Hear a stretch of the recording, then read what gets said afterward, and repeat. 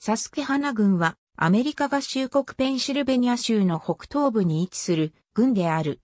2010年国勢調査での人口は43,356人であり、2000年の42,238人から2.6%増加した。郡庁所在地はモントローズボロであり、同郡で人口最大の町はフォレストシティボロである。サスケハナ郡は1810年2月21日にルザーン郡から分離して設立された。郡名はサスケハナ川から取られた。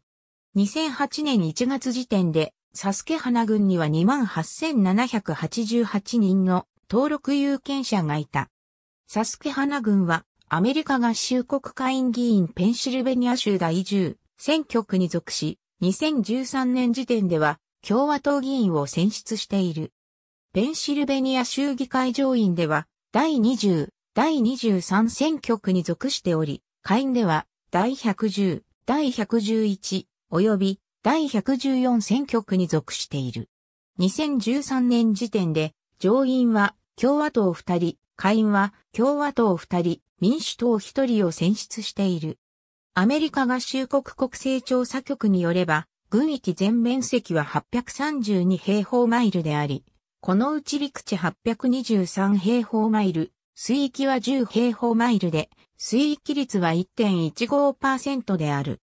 サスケハナデポのメインストリート以下は2000年の国勢調査による人口統計データである。サスケハナ郡の自治体、ボロは赤、タウンシップは白ペンシルベニア州法の下では4種類の自治体がある。市、ボロ、タウンシップ、町である。サスケハナ郡教育学区のクブンズサスケハナ郡職業訓練校、スプリングビルルザーン中間ユニット第18、フェイスマウンテン、クリスチャンアカデミー、ニューミルフォード郡内には、州立公園が一つある。サスケハナ郡は、州北東部のエンドレス山地に位置し、州内でも最も田園的性格の強いところである。ありがとうございます。